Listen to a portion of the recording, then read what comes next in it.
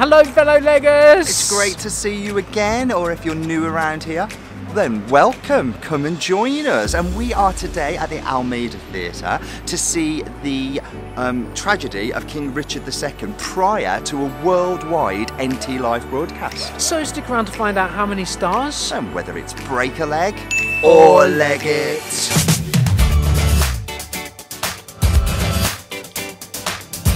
Yes, uh, an NT live broadcast to the world, which is pretty epic for the Almeida. On the 15th of January, this production is going to be broadcast live directly from this house to a cinema right near you. So, guys, you've no excuse to be seeing some world class theatre. I mean, the Almeida was recently voted the best theatre in London. So, I mean, that's that's, that's a big, big, massive Although, accolade, isn't it? we've got to say that the stuff here can be pretty hit and miss. Yeah. It can be pretty revolutionary, pretty, you know, either it's really bloody good or it's not. But what it always is is a great experience. It's a beautiful theatre with Theatre is an experience. lovely staff. So we, we do staff. like coming here We a lot, and we see staff. everything we can here. So check out our other Almeida reviews. You'll find so some I of guess them up there. if you are to see it, fellow leggers, what do us leggers need to know about this production? Well, it's got Simon Russell Beale in it. Okay. Simon Russell Beale we saw in Mr. Foote's Other, Other Leg, Leg, yep. um, uh, before we were leggers, but you you may best know him from the movie version of Into the Woods, I guess, because he is the baker's father in that, right? Oh, was he? Okay, Yes. okay, yeah, yeah. So- I, I place him now. I wasn't aware of that. Um, so okay. he's in that, and that, that would have brought him worldwide attention, right? he's done a lot of stuff. He's mean, a bit of a legend I- in the theatre world. He is, and he's done so much Shakespeare. He's done it's everything. unbelievable. So he is a fantastic draw. Another great draw is if you've ever been forced to sit through a Shakespeare, you know, forced in a bad production where it's three and a half hours long and they, you feel there's no escape. Well, this one, guys, a hundred minutes straight through. Which is great. I often say that um, they should shave the shave some of Shakespeare. Just make it. Give Shakespeare a shave. That beard just really wasn't suiting him, Give was it it? a shave. A bit bitty, bit bitty. Sometimes the key elements are good, Yeah. but it's just fleshed out. It can have a lot of bump, often. can't it? A lot So- of fluff. A hundred minutes. Bump fluff. Hopefully less bump fluff in this one. So there'll be no interval breakdown, but do stick around to the end to find out how many stars. and uh, hear our thoughts. So we've come to the end um, of this um, whizzing Shakespeare. It, I was quite excited to come to start, thinking, you know, one act, uh, 100 minutes, it'll, it'll speed through. And I think if you're going to take the decision to strip away a lot of the text, you've got to at least leave the plot. And for me, I have no idea what, what was happening or what it was trying to say. And I think ultimately I would have had a more interesting trying ti- time trying to get the stains out of the costumes afterwards than I did actually watching the show. So I'm feeling a bit of spillage there in terms of what you may be feeling about this um, this piece. So do you want to elaborate further on how you found your time at the Almeida watching Richard II? excruciating. I just had I I was not drawn in or engaged. I mean, the the production tried to be interesting and had some dynamic elements which we'll come on to a little bit later on, but it could not salvage what in for me was a pointless piece of drivel that I couldn't understand a single iota of what was being said by the actors on stage and at some point the diction was so poor by some of the actors that whatever they did say you know, I had been give me a chance, guys, but I had no, I no clue. I fell asleep twice, and I've only fallen asleep in one of the Shakespeare, um, which was King Lear at the National, which also had Simon Russell Beale in the lead. So I'm starting to fear a trend here, but you know, that's just me. Okay, um, I thought it was interesting. Um, it's uh, Shakespeare. I don't know. It's one of the histories. Do you know it now? I guess, yeah. I guess Oh. I've seen enough to know it's very much about the bickering and being a leader, and how when you are a leader, how you are fraught with the people around you with people who are trying to betray you. Um, you've got, and this is it, Henry IV is kind of vying for the throne. So it gets to the point where Richard II says, "Do you know what? I don't want the, I don't want it. I don't want the crown. This is way too much. I don't can't trust no one. You take it." And then the new king's kind of like, "Oh, do I really want this?" And lo and behold, he's kind of surrounded by just as much bickering until it almost has a bit of a, um, a Godfather moment at the end. The kind of Corleone cull of everybody, heads on spikes everywhere. But but that's But no kind literal of the, heads on spikes, metaphorical. Metaphor, and I, th- that's a really good word. A lot of this production, in terms of its creativity, is really metaphorical.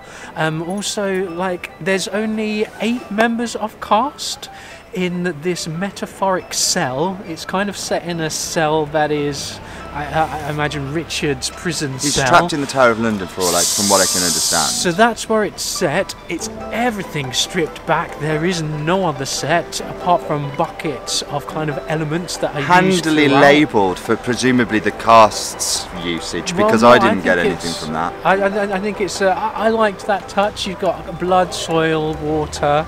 I, I think were were the main things being used, which was just an interesting touch. So everything is stripped back. It's almost very Ivo Van Hove in that regard, stripping everything back.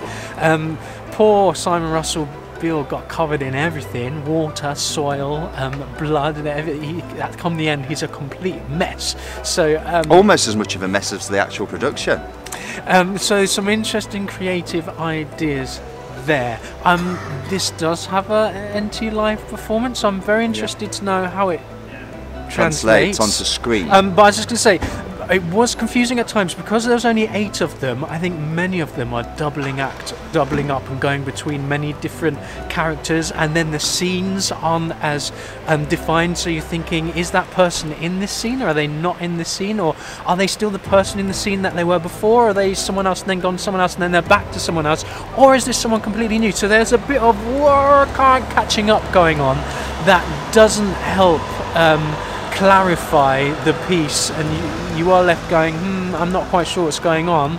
There are some nice dramatic moments some nice dramatic scenes. They are however few and far and in between. Um, some nice use of music some nice use of lighting. That's about as much as i can say anything else you want to add leg Simon? I don't want to say anything. I mean, I could break this down into its um, individual parts, but I would have to tear it apart. And I think for posterity, let's just leave it there. You know, let's all leave with our dignity intact. Um, the mainstream critics have loved this, four and fives across the board. Um, uh, is it just us? But I am completely and utterly baffled by the piece. I am going away with far more questions than answers, but not in a good way when some piece makes you want to look more into a subject matter. I actually hope I never hear about this again.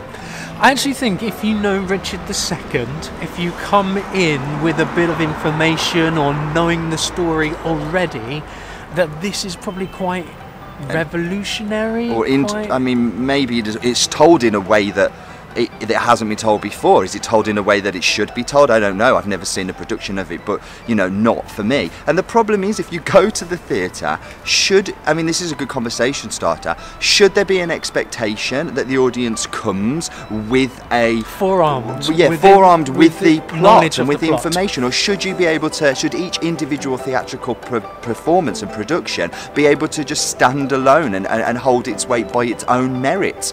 I don't particularly have the time to study, you know, every single piece of theatre we see across the year before we go in. Um, and you know, I think that's a tall order. I think if the director is asking that of us, then uh, for me, please don't. So that is the question we're asking you, Legos. What do you think? Comment Mm. below. Should you? Should there be an expectation for you to know um, the piece or the background of the piece before you see a show? Um, are you going to then leave confused? Because I, I guess my point of view is surely theatre is, is storytelling. Mm-hmm. We- It is the medium of conveying information and stories and being told a story. And if we're confused as to what that story is or who's going, what's, Who's where, failed what's there? Is where it the, has the audience failed or has the director failed? I mean, that's, that's up for debate, isn't it? And that's why theatre is so subjective. Um, so I, I- personally, I know you weren't a big fan of Sam Russell Beale. I, I like the guy. I think he's got a, a beautiful, subtle. I thought he was far too camp at times. I there was that. I didn't. I don't understand the, like the historical character of that, but I don't know that Richard II is a great. You know, is he a legend in the world of LGBT? I'm No, no, because he was playing him utterly effeminately, and I don't know if that works when you're you know regal or despair. I I don't disagree. know. I disagree. I don't think. Thought we was, might break into a conga line at some point. Da, ba, ba, ba, ba, boo. I disagree. I don't think it was as broad strokes of um, camp or anything like that. I think there were very subtle touches at times, but it suited the comedy of the character at the time. Talking of the comedy of the character, I, I wasn't of, of the piece. There were times where I, I couldn't tell if the piece was taking itself seriously. It was times when I, I was thinking, are you are we meant to be drawn in on a serious level with this piece?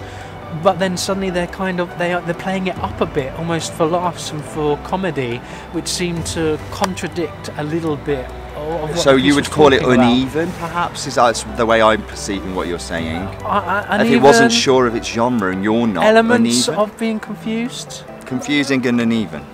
but there are some good performances and an interesting um, creative idea One performance I did think was particularly good was that um, of Robin Weaver, predominantly in the role of Northumberland.